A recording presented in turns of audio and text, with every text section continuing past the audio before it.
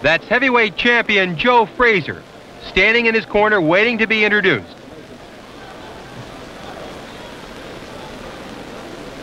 Challenger Bob Foster.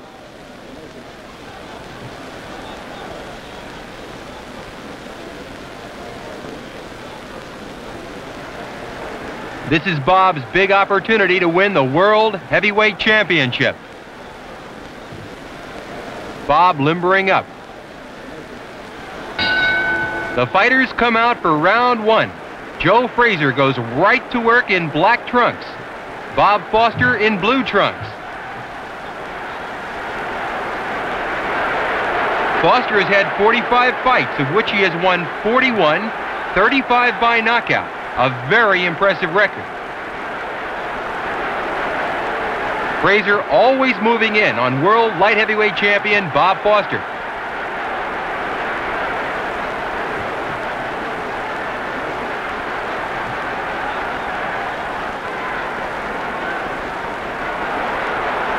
Joe Frazier won the 1964 Olympic Games heavyweight title and then turned professional the following year.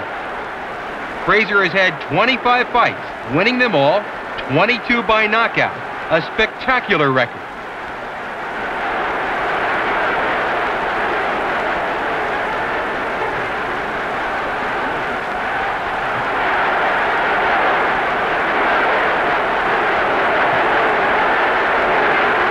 Bob Foster looking to get in one clean shot here in round one. Champion Joe Frazier always pressing. Frazier won the New York State heavyweight title in 1968 when he KO'd Buster Mathis in New York. Joe defended that title against Manuel Ramos, Oscar Bonavena, Dave Zyglewicz, and Jerry Quarry. Joe won the world heavyweight title only eight months ago when he KO'd WBA heavyweight king Jimmy Ellis at New York. Tonight's fight is the first for Joe since winning the undisputed world title.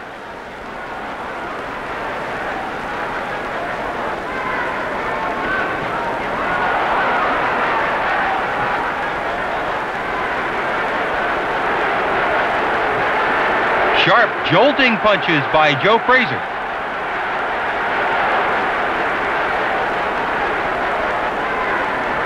Bob sticks out that long left. He wants to keep Joe away from him.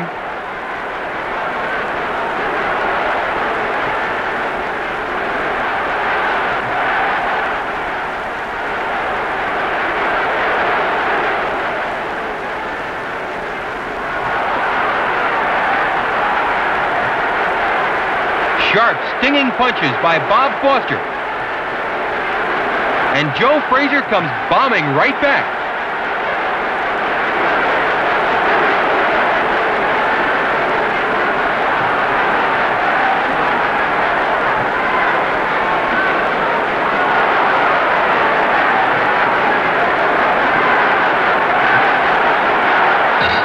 The end of a marvelous round one.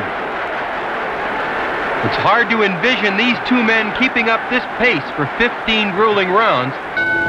The fighters move out for round two. Joe Frazier in black trunks, stalking world light heavyweight champion Bob Foster in blue.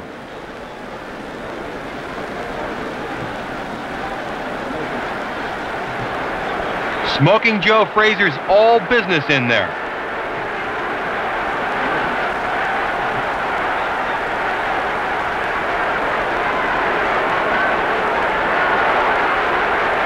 Frazier constantly pressing.